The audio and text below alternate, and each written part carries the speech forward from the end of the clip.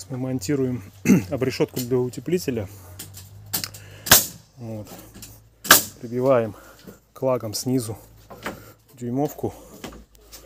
Как мы видим, этот метод довольно-таки надежно держит.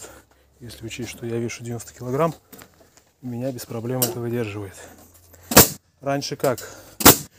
Делали, прибивали брусок 50 черепной и на него уже сверху нарезали дюймовку.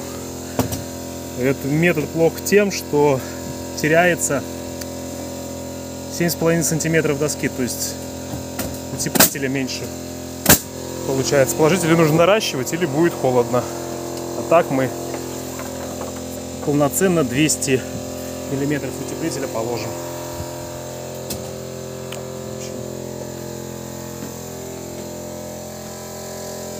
Вот как-то так это все выглядит. Дальше будем укладывать мембрану. В следующем видео можно будет все это увидеть.